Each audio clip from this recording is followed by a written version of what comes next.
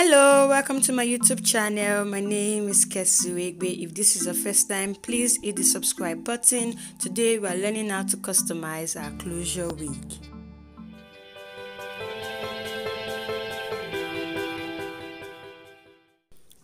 So I'll start by showing you guys the wig. This is the wig I made and now I'm going to try to customize this wig. If you don't know how to make this closure wig, I have a video I will add to the description so you can learn how to make yours. So I'll turn this wig upside down and just try to keep this wig in place. Then I'll cut out the cap directly on top of the closure. You can see how I'm doing this. I'm trying to make sure that I don't like cut the closure net.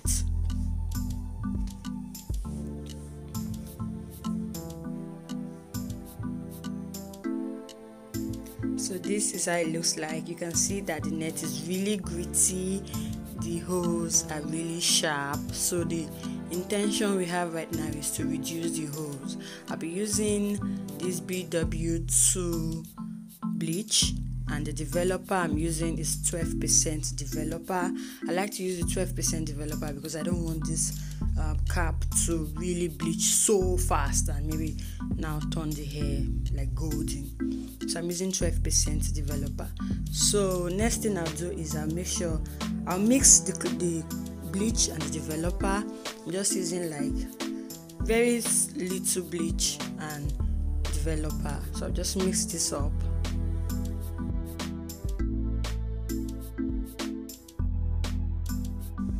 I'm mixing this up really well. I'm using one of the brushes from my brush set. I like to use this brush because it's so easy to apply this on the lace. So I'm making sure I'm applying this everywhere because I want to reduce the visibility of the holes on the lace. So you want to make sure you apply this everywhere all the way down to the part of the lace without the hair.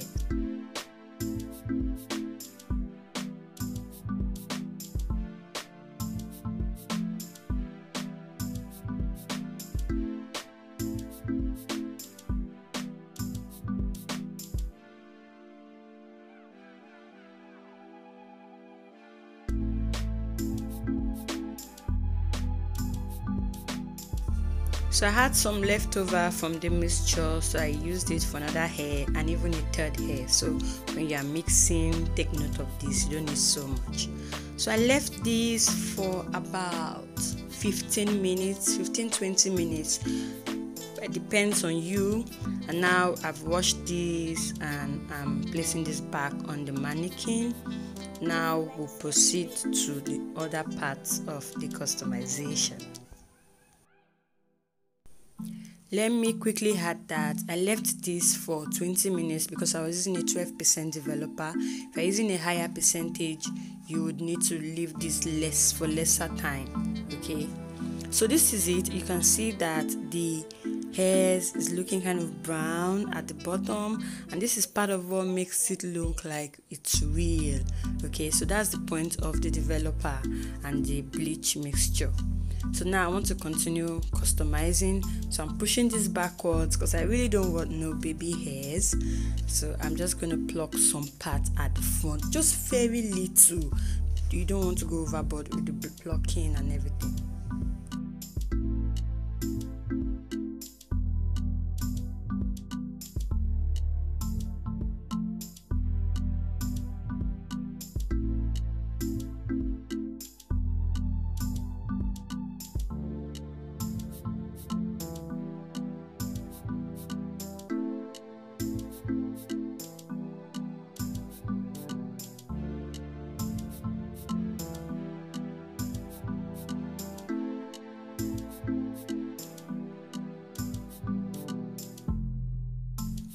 Next, I'll turn this hair inside out.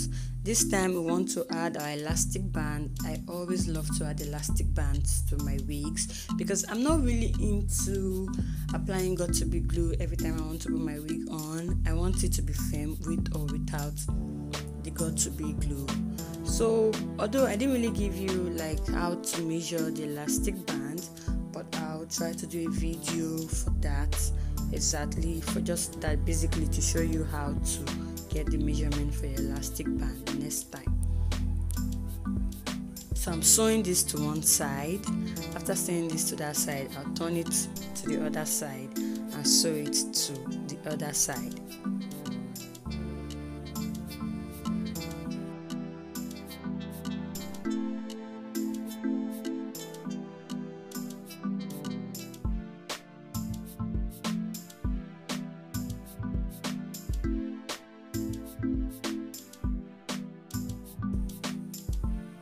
you can also sew this at the bottom too if you want.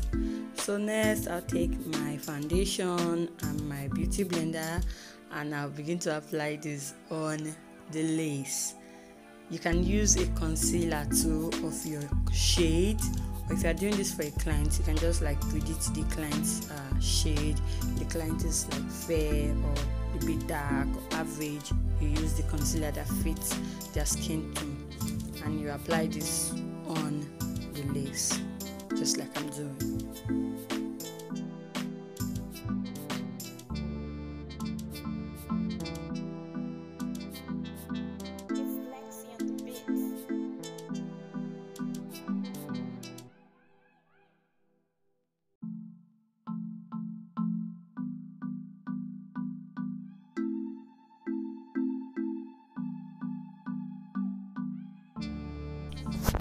You can see how the pattern looks. The lace looks really transparent and that's when you know that your bleach has worked. So i'm taking this brush.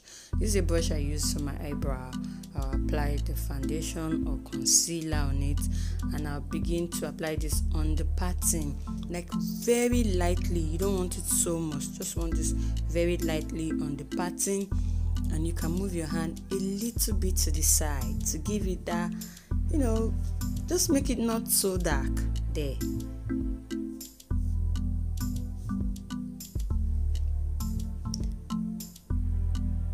So you can see how this looks like. We can't even see the lace any longer.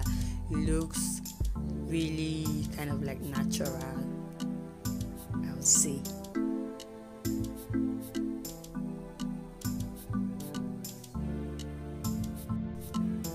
Next step is i use my shea butter. I apply the shea butter on the pattern on the hair on the pattern on both sides. And in the front too. You want to do this while your hair is still wet but not like dripping wet just like damp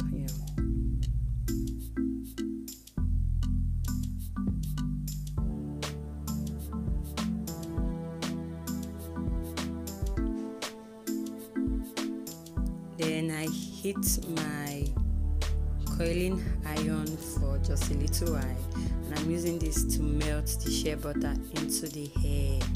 I'm melting the front and the pattern so you really want your pattern very flat. And the elastic band what it does is it drags the lace cap so that the pattern is really flat. You don't want to wear your closure wig and your pattern is like looking lump lumpy, if that's a word. But you get what I'm saying. You want it flat, so you should use your coiling iron to flatten. So I bought this nude cap and I wear the cap on my head. I'm wearing just one of it. Next, I'll take my foundation and my beauty blender apply the foundation just at the front there where the closure goes. You don't need to apply this everywhere because that's just the part that needs to be transparent.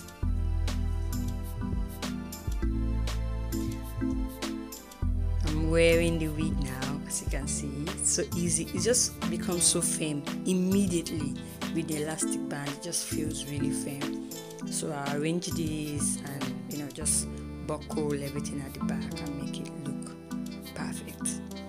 so you can cut your lace on your mannequin or you can be like me and cut the lace on your head. Don't do that. Cut the lace on your mannequin please. For the closure not for frontal. For closure you can cut your lace on your mannequin. So i'm cutting this on my head because like i'm trying to be